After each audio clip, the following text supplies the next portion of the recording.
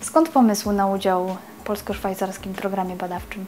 Ma to związek z naszymi partnerami, z którymi znamy się od bardzo dawna. Y, Inicjator tego projektu, pan profesor Andrzej Szczeklik, przez wiele lat był konsultantem w Davos. Badania dotyczą astmy oskrzelowej, która jest chorobą na całe życie, którą da się leczyć, ale nie zawsze w sposób taki, jakby sobie tego życzyli pacjenci. Co jest najbardziej innowacyjnego w projekcie? Połączenie technik y, hodowli komórkowej. To są komórki trudno dostępne do badania, a my te komórki możemy badać przez najbliższe miesiące bez żadnych ograniczeń, ponieważ one już są zamrożone i tylko czekają na nasze plany eksperymentalne. Co więcej, umiemy to tak zrobić, że wyrosną i będą identyczne jak dojrzałe komórki u człowieka. Do zalet tego projektu bym zaliczył no, rozmach, jaki tu jest. Mam na myśli nie tylko finansowy rozmach, ale również zakres tych badań, dlatego że stały się dostępne dzięki temu takie techniki badawcze, które, o których mało kto słyszał 2-3 lata temu. Grup badawczych jest wiele, ale jak wszędzie obowiązuje taka zasada, że tylko osobom przygotowanym zdarza się szczęście coś ważnego odnaleźć.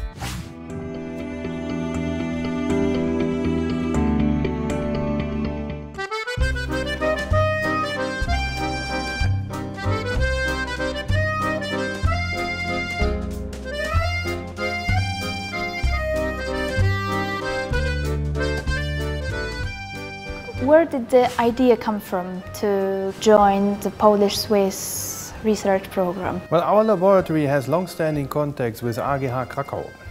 So there is already a history of positive collaboration. There was a common ground. I visited Professor Molenda in Krakow and um, immediately I saw the language that she spoke when she explained her views and ideas. I saw that it was a, a, a perfect match. That uh, was my missing link.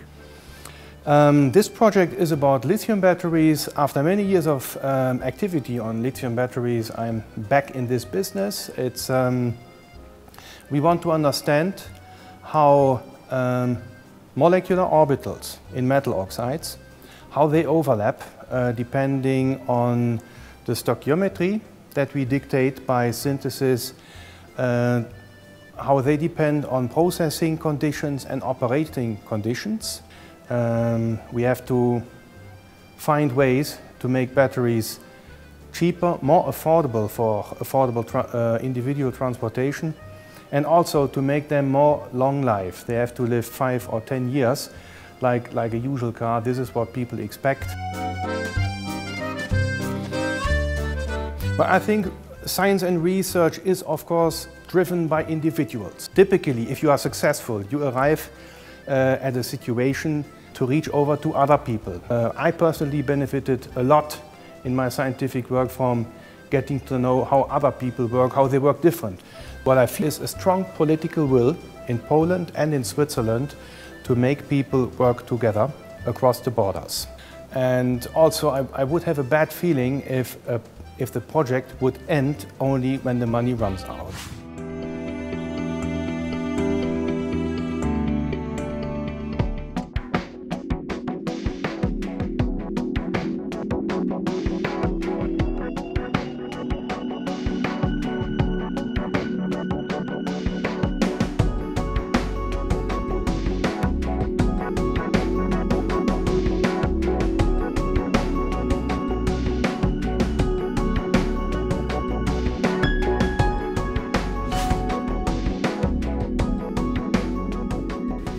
So basically, uh, we had already good contacts with the research group before. Uh, we were doing research in peer-to-peer systems and in questions of trust in peer-to-peer systems. And then uh, the idea came up that actually we could, uh, based on this collaboration, start a project on this very new topic that came up at that time to evaluate credibility of web pages. Why is it important nowadays to evaluate web pages? You know, everyone can put content on the web. Uh, the content can say anything. Uh, you have no control whatsoever. And some of these things are really important, right? So it can have very bad effects on you if you do some bad things. Uh, and uh, therefore, uh, a system that helps us to evaluate uh, whether we can believe what we see on the web is really essential. Do you want to say that in the end we will get information that in different countries people behave differently in front of computer? It is absolutely possible that not only in different countries, I mean, even different groups of people will have uh, different ways of how they interpret information. Uh, so the project is more than two years now on and uh, we have uh, made tremendous progress in understanding, first of all, what credibility means. We made also some theoretical investigations. We start to better understand how people try to manipulate information to influence others. We're doing some, some more theoretically oriented research on that. And at the same time, we're also working on the practical realization. So we are now starting to develop uh, real platforms in which we integrate all the techniques that we are developing. I mean, we will have, uh, when the project finishes, we will have uh, some solutions that we can make available. How it will be followed up is an interesting question because uh, is, it, is it the public interest, is it commercial interest? Uh, we have to find models of how we make this then really available at a large scale.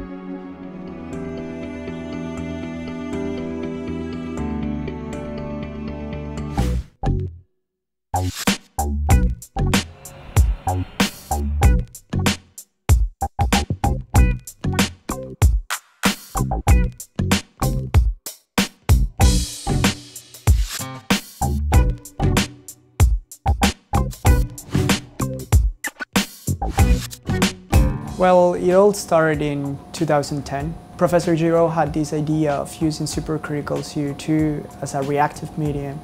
What he does is using interfaces made of two immiscible liquids to drive reactions. So far we have proved that it's possible to do it for hydrogen evolution. Now we want to do the same for CO2 reduction. This will lead to the conception of a new re renewable energy source which is carbon neutral basically. What's the most innovative in your project? The use of supercritical CO2 as a reagent overall, it's we're developing a new strategy where we concentrate CO2 in, in very small volumes so that we can make it react in a much, much faster way. We use water as our proton source. So it really resembles to what nature does in a much simpler way, of course. The difference with the Swiss-Polish research program is that you have groups that are interacting with each other and they are making their own findings and then later on they are coming together and they are, discuss they are having discussions at the same level. The exchange of ideas goes in a much more efficient way and that really helps to move forward a project much faster.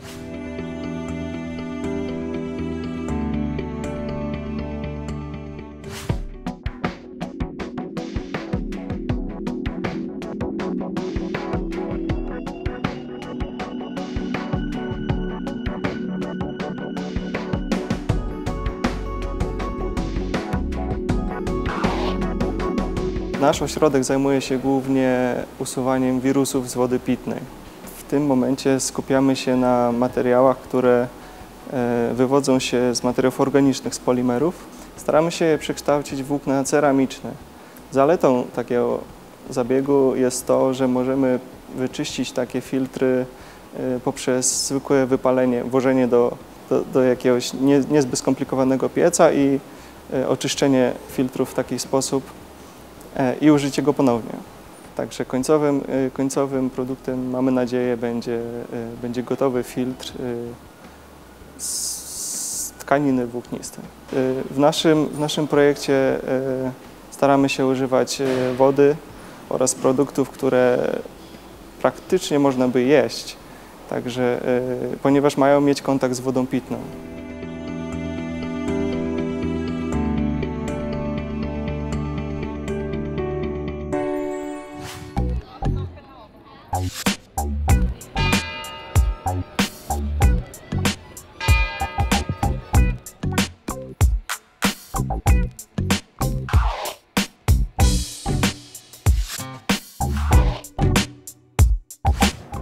Pani profesor, skąd pomysł na udział w polsko-szwajcarskim programie badawczym? To znaczy o, o programie samym dowiedzieliśmy się z, ze stron internetowych, że coś takiego istnieje, ale potem wyszukanie partnera, to oczywiście yy, zwróciliśmy się do niego, jako że znaliśmy go od, od dawna właściwie. A skąd pomysł na akurat y, ten temat badania? Kondensatory to jest, to jest przyszłość. Uczestnicząc w konferencjach międzynarodowych widzę, że to zainteresowanie wzrasta bardzo, bardzo silnie. Wiadomo, że to są urządzenia takie, które są bardzo atrakcyjne do gromadzenia energii, a jednocześnie do uwalniania jej w bardzo szybkim czasie. Czyli takie urządzenie, które może być zastosowane do mobilnych pojazdów, a także na przykład może zasilić nawet autobus. W Szangaju takie autobusy są zasilane tylko kondensatorami, żadnym innym y, źródłem energii.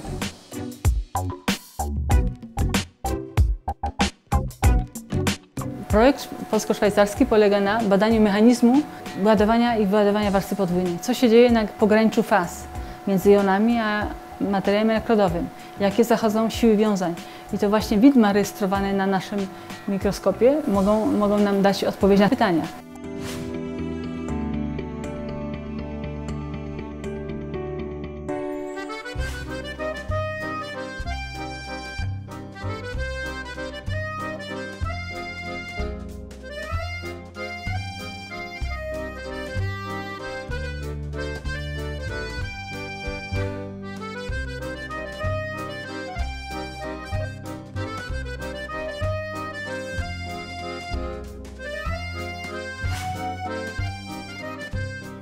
The project is about new materials that we try to develop and find for energy uh, related purposes, basically for energy storage and for ion transport. So there are big challenges in our world today and one is the growing energy demand that we cannot cover so we have to go to renewable energies such as solar or uh, wind energy and there the big uh, challenge is to store the energy and to, to transport it. And so we are developing new materials we can use as a synthetic energy carrier. And yeah, that's the, the idea of the project. Do you already know what kind of results to expect in the end? There will be certainly some surprises because judging from the past, we already had some surprises in, in our research and we uh, changed our research plan um, accordingly a few times. Science is an international game, so to say. You have to find partners that share your research interest. And uh, we are, I'm lucky that I have a, partner in Poland. And not only to have the partner in Poland, but at the same time the funding through this Polish-Swiss research program to make that, uh, that possible.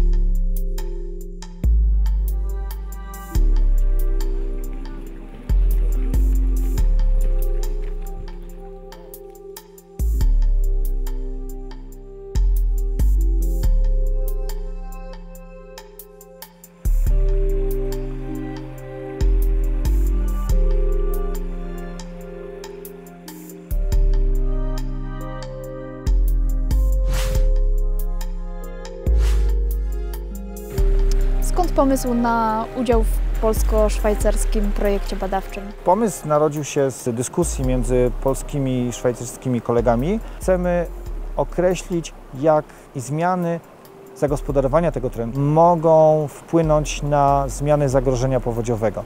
E, naukowcy szwajcarscy mają bardzo duże doświadczenie w tego typu badaniach i to powoduje, że są świetnymi partnerami dla nas. Z kolei dla Szwajcarów jest interesujące, jak w innym środowisku górskim procesy, które oni zazwyczaj badają u siebie, e, przebiegają i na ile ich wyniki są porównywalne z tym, co dzieje się w innych e, obszarach, takich jak na przykład Tatry. To, czego możemy się nauczyć od Szwajcarów, to jest to, jak żyć e, z rzeką, jak żyć z powodziami, a niekoniecznie jak z tym walczyć.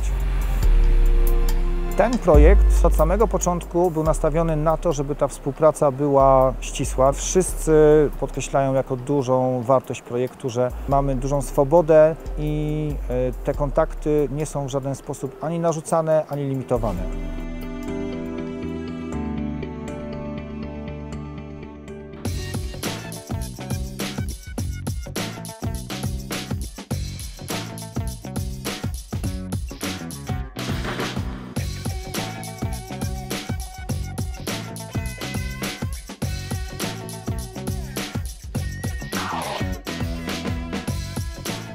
Pomysł na, na ten projekt e, zrodził się w grupie szwajcarskiej e, profesora Huda Landała. On po prostu stwierdził, że taka współpraca grupy syntetycznej z nami w dziedzinie ciekłokrystalicznych materiałów i faz lipidowych może przynieść e, ciekawe rezultaty naukowe. Jeden kierunek to jest możliwość wbudowania enzymów w warstwy lipidowe. To będzie wykorzystywane z jednej strony e, w przygotowaniu biosensorów, bioczujników, a drugi kierunek to jest wykorzystanie enzymów właśnie w fazach lipidowych e, do e, przygotowywania bioogniw, czyli alternatywnych źródeł energii. Rola partnera szwajcarskiego polega na syntezie nowych lipidów i pomocy w przygotowywaniu układów opartych na tych lipidach. To jest taki podstawowy projekt. No, rodzą się ciągle nowe pomysły, także widać, że ta współpraca mogłaby się dalej rozwijać w różnych kierunkach. No, szkoda by było, gdyby to za półtora roku się miało skończyć.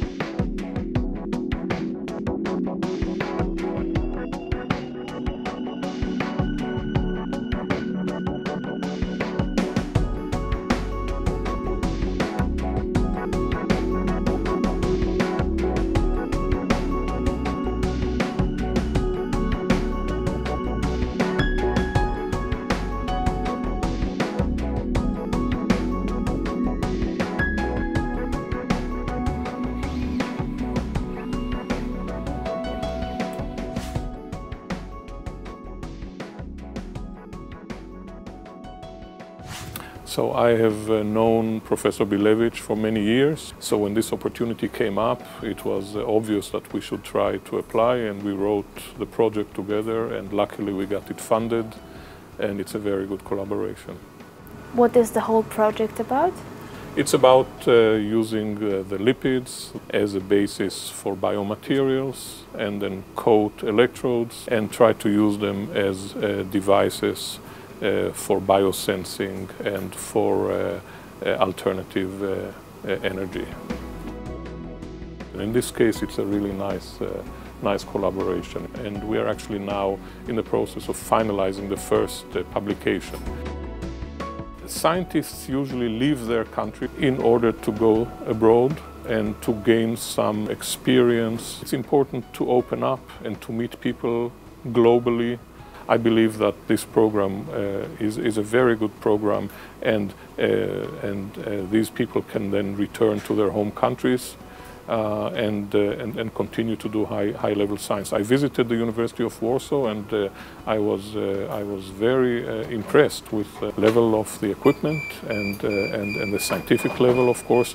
So I believe that the young people can do a very good science in Poland.